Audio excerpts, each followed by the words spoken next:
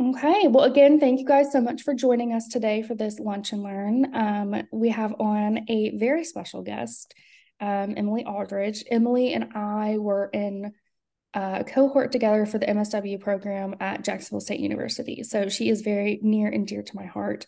And I'm very excited to have her on today to talk mm-hmm. about kind of what she's been doing since um, graduation and the kind of line of work that she has found herself in. So, Emily, I'm going to go ahead and let you take over. Um, I'll monitor the chat for you, um, let you know if we have anything. But other than that, it is your awesome. time now. Thank you for having me today. Um, we're going to talk about the power of play and building rapport with children and adolescents. Um, so here's kind of a little bit of an outline of how today's PowerPoint discussion is going to go. Um, kind of just talking about the importance of building rapport and how to do that with play and just the different types of play and just a little bit about the theory and some um, some you know information about do's and don'ts in play. Um, so this is me. Uh, I'm Emily Aldredge. Uh, like Faith said, um, I graduated with her from JSU in May of 2021. Um, I have an LMSW, and I'm, you know, right now in supervision to become clinically licensed. Um, and so I do work in community mental health in the school based setting, but um, I've got experience in the outpatient setting as well. And I've worked here since I graduated. Um, and so this summer, I trained in parent child interaction therapy. Um, and so I have kind of like an estimated certi- certification dot, certification date um, next year sometime. Um, but I utilize like therapeutic play nearly every day at work. Um, and I also teach um, therapeutic play techniques to families um, in the parent child interaction therapy modality. Um, one of my future goals is to become a registered play therapist. Um, and that's just going to have to wait until, you know, I'm clinically licensed and have the money and the, um, the time.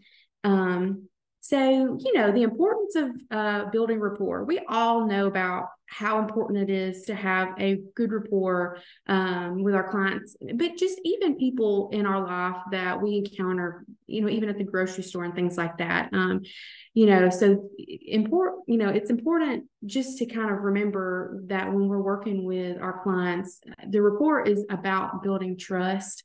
Um, and, you know, research suggests that professionals like you guys who are trained to support victims of crime um, can really boost the client outcome through like the proper building of rapport. Um, one study found that interactive activities, aka play, um, made children of all ages more comfortable um, with the forensic interviewer. So that's interesting. Um, another study showed that you know building rapport not only you know kind of helps the possibility of securing like witness cooperation, but it um, increases the accuracy of the information that they provide. Um, so building rapport is really powerful um, in you guys's you know area, um, and so when we build rapport with play, um, we're really leveling the playing field. Um, play is really just how kids communicate. Um, it's the most familiar mode of expression that a child has. Um, they express their thoughts, their feelings, their experiences through play. Um, and research shows that when a, an adult is willing to play with a child, um, it shows the child that you're interested in them and their world. And it, it honestly levels that power imbalance. Um, so, another good reason to build rapport with play is it makes up for any deficits in you know emotional understanding um, willingness to participate um, or even communication deficits that um, your child client might present with um, so here's some just different play techniques and devices. I mean, there's so many, but you've got storytelling, dance, movement, um, imagination, um, you know, sensory items, arts and crafts. I mean, there's so many. Um, and we're going to talk about how to use, you know, different techniques in different ways. Uh, so there's two just very basic types of play. Um, for the first, we have directive play, and that's adult-led play. Um, the second type is non directive play, and that is child led play. And they both have important functions in just in different ways. Uh, but first, we're going to kind of get into directed play. Um, like I said, uh, this is when the adult leads the play. Uh, the, the adult asks questions, um, gives directions. Um, the, the play has rules and it's curated. Um, the toys and the games are just like carefully chosen to kind of guide the child or you know, the team to a specific um, route. Um, and this is really based off of CBT techniques. Um, and you know, some ways that we do directed play is, you know, through board games or card games, um, you know, adult-led art activities, um, guided imagery, guided meditation. That's all, you know, led by the adult. Um, and here's some visual examples of directed play. You know, we have the classic Uno, uh, Jenga, board games. Um, and in this little clip art, you'll see um, these two people are engaging in directive play. Um, and, and it does work to build rapport. Um, and certain kids respond better to directive play. Um, and you can really get creative with directive play, especially if you're trying to build rapport. Um, here you'll see kind of like um, rapport building Jenga. Um, and that's just, you know, instead of, you know, you're playing Jenga and you're pulling pieces and you're focused on like keeping the tower tall, um, you would put, you know, questions or prompts on each block. And so as you both pull a piece, you both answer. And so you get to know your client. Um, course, there's also feelings uno, and that just associates an emotion with the color. And you can, you know, be creative. You can, um, every time they get a certain color, you can have that child talk about um, times that they've been angry or times they've coped with anger um, or things like that. There's also the M&M's feeling game, which is just a fun way um, to incorporate snacks into play. So, you know, I can't think of really anything better than eating candy and um, playing um, for a child. Next, we're going to have kind of like directive art activities.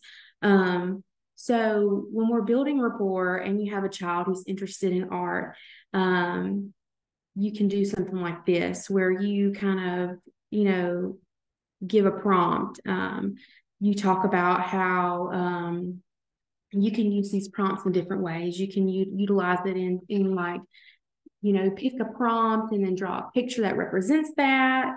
Um, you can just talk about it together. You can journal.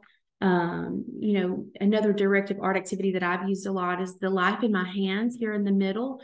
Um, and it's really a nice way to get to know things about your client that maybe they would have not discussed, you not you might not have thought to ask um, them about. Um, and then here we have this tree of strength. You know, it's a good way to engage um, art and it's also you know putting a strengths based perspective on um, what the kid likes about themselves. It's building self-esteem and building rapport. You're getting to know you know the things that the client likes about themselves and that's awesome. Um, in the middle here in this gray box i just put a little uh, link to just some more ideas. If you like you know using directive art um, sometimes you know certain people um, really kind of um, you know mesh well with art. And it's something that you can kind of keep in a in a folder and you can travel well with with the with the different art activities. So it's nice to have a few things kind of planned out you know in your day you know if you were to um, come across a child who's interested in, in doing art with you to you know to to do your sessions um, now we're going to talk about non-directive play um, and this is child-led play. You know you're going to let the child pick the toy they play with how they play with it um, you're going to let them completely choose how the direction of your session goes. Um, and this is based off of a carl rogers person-centered approach um, and your function in this play is just to observe and let the child lead. Um, so it's you know our job it really takes away um, the preparation. All we have to do is be there and be present um, now, some things that you know are are good tools to bring to this non-directive play are creative toys like blocks and Legos, magnet tiles, um, pretend sets like dollhouses, um, play food, you know, play money, um, things like that. And here's kind of like just a verbal, um, not verbal, a visual um, just show of what you could use, you know, one big hit uh, for the kids that I work with, even from age like five to 18, is kinetic sand. Uh, they really like it, and it's it's pretty easy and pretty portable as well. Um, another thing that um, I've been using a lot um, is you know I've got I've got it here with me. It's um, foam slime, and it's great because it doesn't dry out and it doesn't really cause any kind of mess.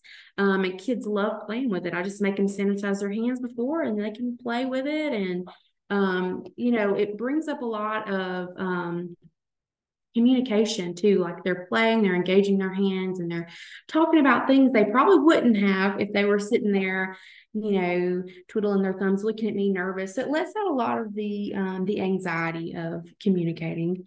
Um, so, one of the things that uh, we talk about are as the do skills um, for child led play, they're called pride skills.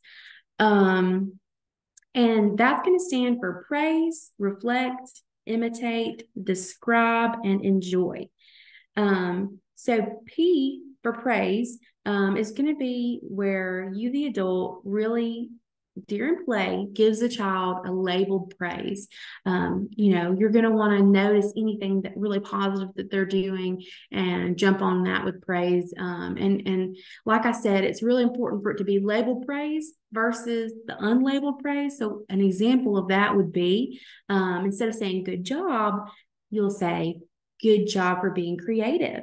You know, um, so you're really praising them, but also letting them know which behavior to repeat. Um, it could also look like um, I really like it when you play quietly, um, especially if you have a child that's a little destructive and a little loud. You know, I really like how calm you're being. So you're you're giving that praise, and it boosts their self esteem. Um, and R stands for reflect. Um, and reflect is just to repeat what that child is saying. Um, for example, if the child is building a big tower and they say, I'm building a big tower, you just repeat that. You'll just be like a parrot and you'll say, You're building a big tower. Um, and it feels unnatural at first, but when we, re- we reflect what our um, client is saying, it lets them know that we're listening and that uh, we are engaged. Um, and I stands for imitate. Um, and so we imitate the play that the child is doing just to let them know that we approve what they're doing. For example, um, if you have a child who is again building a big tower, you could choose to build a big tower alongside of them and you could just, you know, act it out. You don't have to say anything, or you could say, I'm going to build a big tower like you are. I like how hard you're working on your big tower. So the skills kind of build on top of each other. Um, and D is going to stand for describe. Um, and this is basically like being a sports announcer. You're going to describe what that child is doing with their hands. For example, they're building that big tower, and you say, Oh, wow, you're building a big tower. You put the purple block on top of the yellow block. Oh, you put the cow on top of the tower. You know, things like that. You're just going to describe what they're doing with their hands. Um, and E stands for enjoy. So, you know, that's probably the most important one. You know, that you have to let the child know that you're enjoying this interaction with them. You can, you know, you need to give like eye contact and smile and use that warm tone of voice and um, you know just let them know that you're enjoying your time you appreciate them letting you know you into their little world essentially um, they're sharing pieces of themselves with you through play so the E is probably, in my opinion, the most important part. Um, but now we're going to talk about some things to avoid during child led play. Um, and this is also a little unnatural too, but we're going to try to avoid questions. I mean, some questions are, you know, bound to happen, um, but we're going to try to avoid the questions. Um, and this is what I teach to my parents uh, undergoing, you know, the parent child interaction therapy. Um, and the question is like, well, I thought a question would show them that I'm listening and that I am interested in what they're doing. But, you know, in reality, a question kind of takes away the um, child's lead from the play. It makes them stop and think, well, why am I doing this? And maybe I shouldn't do this. Um, and it also shows that maybe you're not listening if you're asking questions um, just during this child led play. Um, another thing we're going to avoid is criticism. Um, and so sometimes we don't realize that what we're saying during play could come across as criticism. Um, and I'll give you an example. We're building that big tower again. The child puts, you know, the play cow on top of the tower, and you say, Why did you put a cow on top of the tower? They could perceive that as a criticism. Um, so a better way to put that would be, um, oh, you put the cow on top of the tower. I wonder what the cow is doing on the, on the tower. Um, so a little kind of trick that we use to kind of avoid a question um, is the I wonder. Um, so that statement is appropriate to use during this child led play. And the last thing we're going to avoid are commands. and so a command is really definitely taking the lead away from um, the child in, in terms of play. Even if you're engaging in play and you say something like, oh, hand me the blue block. Um, it's really making them stop and have to bend to what you want to do in the play. Now, the times that I'm going to ask you to not avoid commands would be if the child is doing something destructive or dangerous, obviously.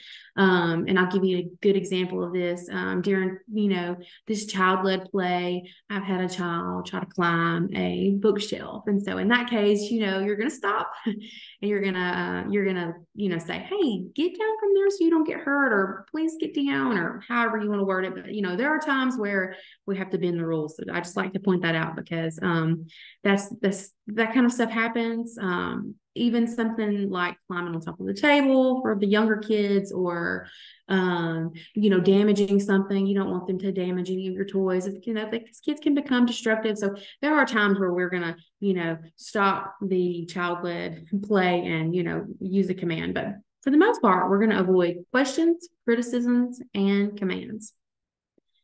Okay so applying these techniques as an advocate um, so we talked about using it to build rapport. Um, and that's going to be a wonderful way to do it. But there are other ways to use play. Um, you can use play as emotional support. Um, you can also use play in crisis intervention, and we'll get more into that in a minute. Um, but I like for you to think about this. I want you to be mindful of your individual personality and um, things that might cause you distress. Um, for example, um, you want to utilize play, um, but you find that you're maybe a little type A, you like structure, um, and it would be distressing for you if the client took your Play Doh and mixed the colors together. So we're going to adapt. We're going to kind of think think ahead. We're either going to just avoid using Play-Doh altogether, or we are going to only buy one color of Play-Doh. So we have to kind of think about these things that might trigger us and cause us distress, you know. Um, and, and, if you're very type A, you might prefer to have um, this directive play, you know, board games and things with rules, and that might be your preferred way. And that's a great way to build rapport. Um, but if you're very laid back and you kind of want to just let the, the kid lead, you can, the non directive play is great for building rapport too. Um, I will say that non directive play, where you let the child lead, is, um, in my opinion, a lot easier to use with the younger children. Um, maybe children four, five, six, seven, um, if they're not really able to kind of follow, you know, um, the rules of a card game or something like that, letting them have that child led creative play um, seems to work really well. Um, but like I said, there's instances where the directive play, it, it could be a better fit for the child. So bear in mind your personality as well as the child's. Um, an example of that would be um, if you have a, a, client who is very shy and reserved, maybe indecisive, maybe fearful of making a wrong choice. Um, and so, in that case, you know, directive play really alleviates the stress of them having to pick what to play.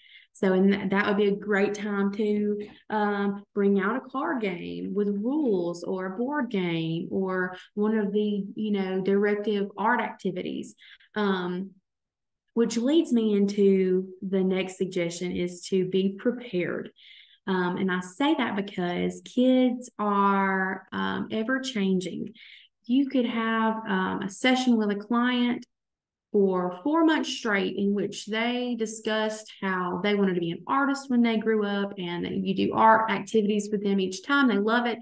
And then you and, you know all of a sudden they don't like art anymore. Um, they don't want to do that. Maybe they're not in the mood to make art. So it's good to be prepared with you know some different options. Um, but you know i don't want you to be overwhelmed either. Um, i don't have an office and i go into the schools and so all i do is kind of bring a bag with me. So i'm not going to bring a whole play therapy room full of full of toys and and things. So the you know the best advice i can give you is to just bring a small variety or have a small variety. Um, so what I usually bring with me in my therapy bag, just to be prepared for, you know, different age ranges and, you know, different interests and things like that, different personalities. I like to bring a sensory item, um, like the the foam slime I was telling you about that I'm that I'm a fan of right now, um, or kinetic sand. Um, I like to always have a card game, and I have a few that I rotate out. Um, I like to have some art activities prepared and just a, a good old pack of crayons is, is, all some children really need. Um, and, you know, I'll rotate out a board game or two. Um, and that's really all I do. I'm not, I'm not bringing a whole lot because, you know, they can be overwhelmed by the choice of, of things like that. But as far as the um, child led play, I'll bring a small thing of Legos or, um, you know, like stackable magnet tiles, things like that. Um, maybe like I'll rotate out the pretend sets. Um, but you don't have to have a whole lot. And you can even shop yard sales and things like that. I have found um, Legos and blocks and things like that um, on, you know, the you know yard sale sites the the the resale sites and things like that um now back to how to incorporate play in different ways um, we talked about how to use it to build rapport and why it's important, especially in you know in your field. Um, but the emotional support aspect, and I've used play for emotional support with children's, teens, and adults. Um, an example of that would be um, a client who is very um, anxious. You know, you're noticing that they're fidgeting, they're wringing their hands, um, they're having a hard time, you know, focusing because they're just so anxious. Um, you know, a sensory item, you know, uh, putty, slime, you know, you got slime actually triggers me. So just be mindful that can be a mess. Um, but you know, even like a a, um, a stress ball, um, anything like that can really help kind of regulate the client um, and let them have that nerve, you know, like a, um, an outlet for that nervous energy so that they can communicate better. Um, so I use play, you know, even with my parents sometimes when they're very anxious or nervous or even angry. So it helps them to have like a way to regulate. Um, so we've talked about play building rapport play having um, an aspect of emotional support. Now, um, lastly, let's talk about play in crisis intervention. Um, and I've seen a lot of my colleagues do this. Um, so I have what is called, I call it my go bag. Um, when I have a call and someone's like, okay, you have a client in crisis, oh, I grab my go bag and I, um, you know, take it with me. And it has, you know, just some little different elements of play. I have a stuffed animal in there that has some um, lavender and vanilla scent for calming. I have some sensory items, you know, I'll have, um, maybe even you know in the past i've had bubbles in there because you know that can mimic like a deep breathing you know you're breathing in and you're breathing out and it's regulating um, i also have like some some sunglasses in there for pretend play a little hat you know sometimes the fluorescent lights can be too much though they can you know have a sensory break. Um, you know it's not play related but i'll have a snack and water. Um, but the reason it works sometimes it's not even the play. Sometimes it is just if they're in true crisis or having a panic attack, sometimes just unzipping the bag and looking in and seeing what's in the bag and observing is enough to disrupt that panic and you know disrupt the thought. And so sometimes i notice by the time they put their hand in the bag they've already regulated a lot. So you can use play and incorporate that into crisis intervention as well. Um, so I guess this is, I went through this really fast. So this is the part where um, if you guys have any questions or if you need me to clarify anything since I went through this so fast, um, I'm all ears.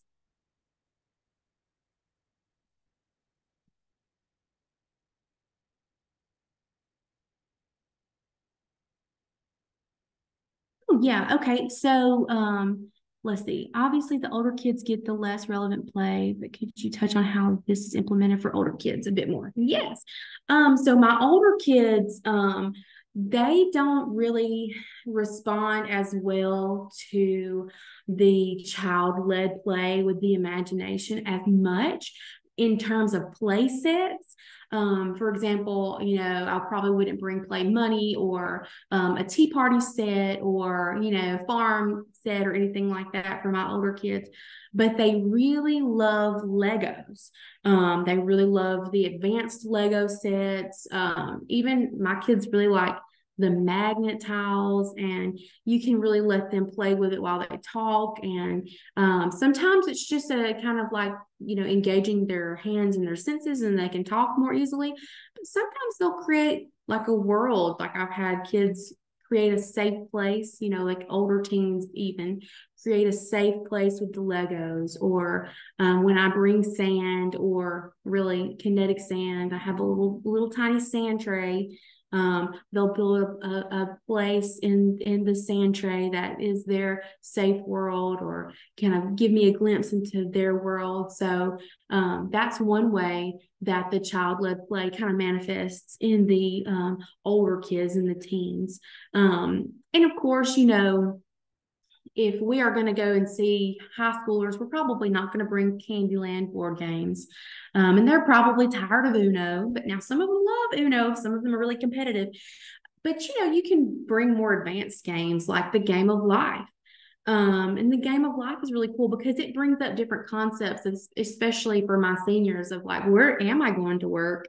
Um, what will my life be like? I mean, so um, there's definitely like directive play that works really well for the older kids. Um, so you have the board games, the card games. Um, some of my older kids have had a lot of fun um, teaching me how to play poker and how to play um, rummy and things like that. And I'm really bad at following directions, so they they get a you know they get a big kick out of like having to teach me and remind me of the rules and stuff. And so that in a way builds communication and confidence for them. So and play has a lot of different functions. I mean, um, in the therapy world, you know, play has the function of obviously building rapport, like you guys would use it, um, but it also kind of builds self-esteem and lets the child and the adolescent, you know, the teen feel heard and things like that. Um, let's see, I'm trying to think of other things. Um, and it is totally dependent on the personality of the the teenage client. I mean, I have some,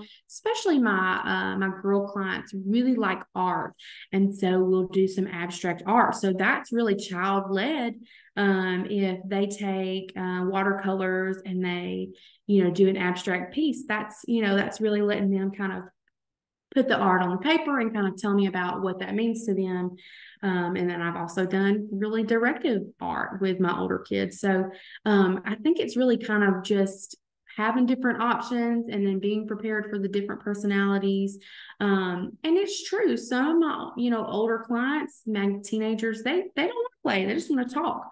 Uh, and that's great because that means that they have learned abstract thought. They're they're working on their communication. They're they're talking about what they want to talk about. So, I mean, yeah, absolutely. There are just some clients that, you know, play um, isn't really what they're interested in. Um, but I will say, even my adults love a good sensory item. Uh, something about just having something in their hands, even a ball to throw back and forth, helps them to regulate and kind of you know, help them guide the, the conversation and talk about the things that they wanted to talk about. Um, but thank you for that question, Kaylee. Do you have did that kind of answer it for you? I hope it did.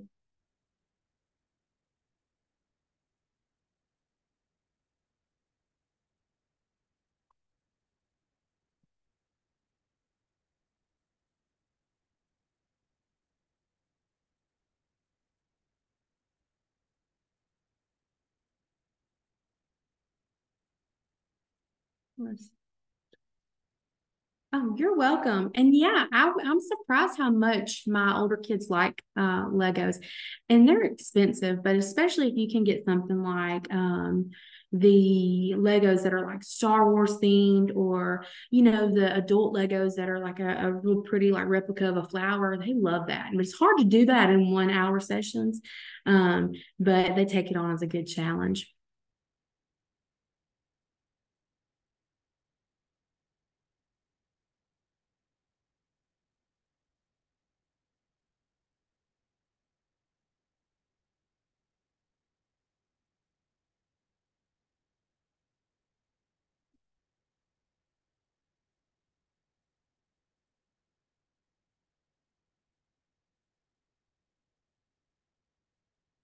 All right. If we have any more questions, I'll be happy to answer, but I know I've rambled a lot.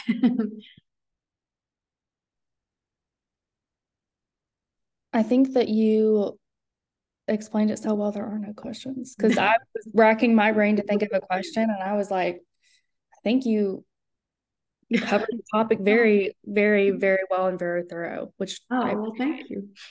I um I, I think I might have went, you know, a little too in depth on some of it because, you know, it, it's one of those things where you really just go person by person. It's, yeah. it's you know, you just have to go by based on their personality and everything like that.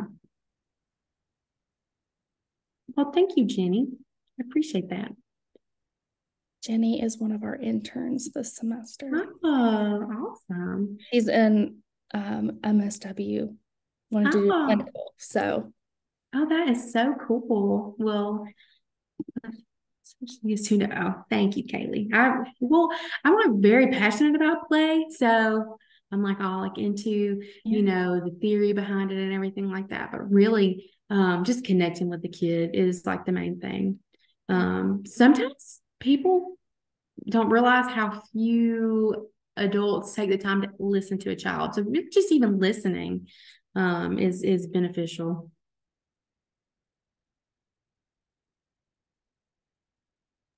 I think that what I really liked about your presentation was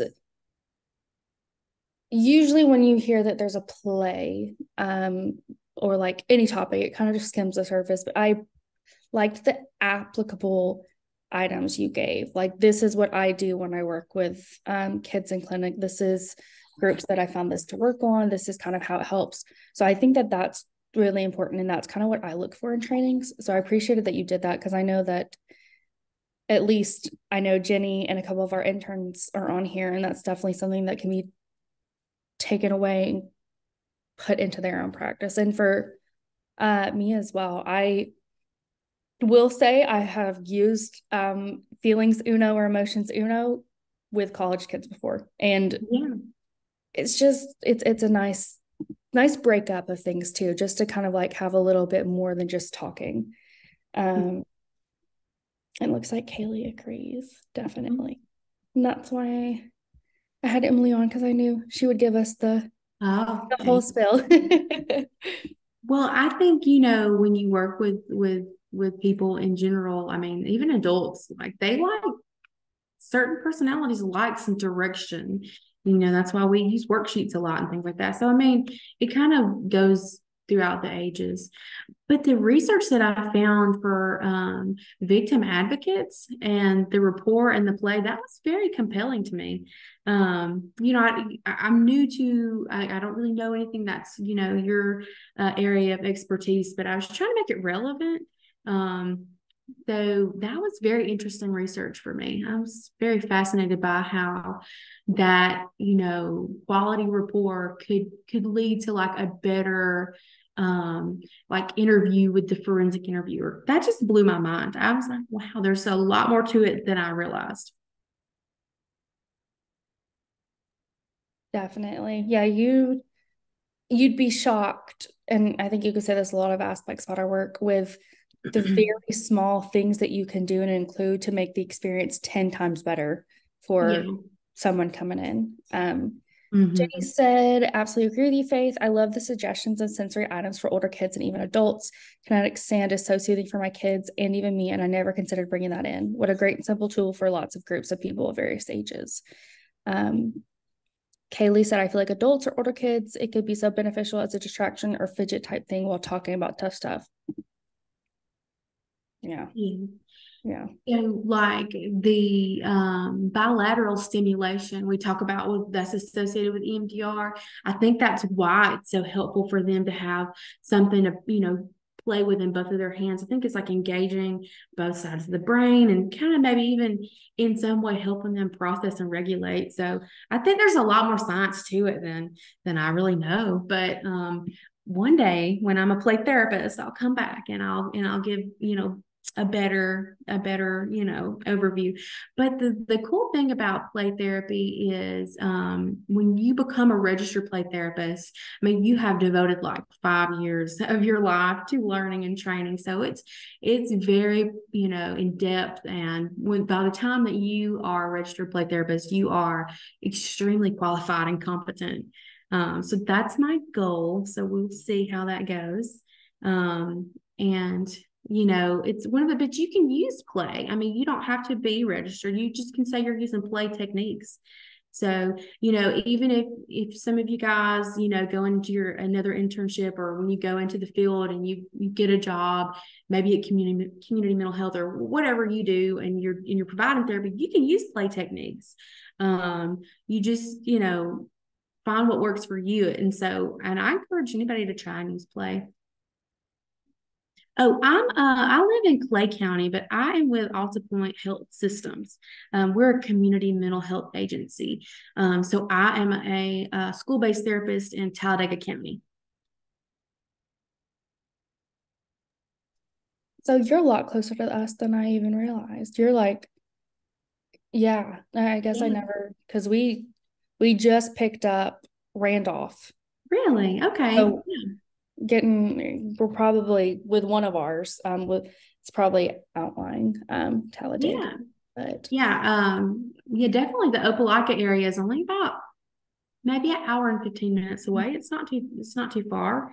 Yeah. Um and so yeah, and that is a great area to be in too. There's a lot of resources and I love that for y'all because, you know, in these rural rural counties, there's, you know, not as many resources and we struggle to link people to, you know, relevant resources. Mm-hmm. Yeah, definitely agree. Um, well, if there's no more questions, um, then we will, I guess, get out of here a little bit early today. Um, checking the chat one more time. Yeah. And I'm going to put my email in the chat. It's just RCA services. It's what you would have gotten this um, Zoom from. And if you have any other questions, I can direct them Emily's way. Um, and if I'm gonna stop the recording now, actually.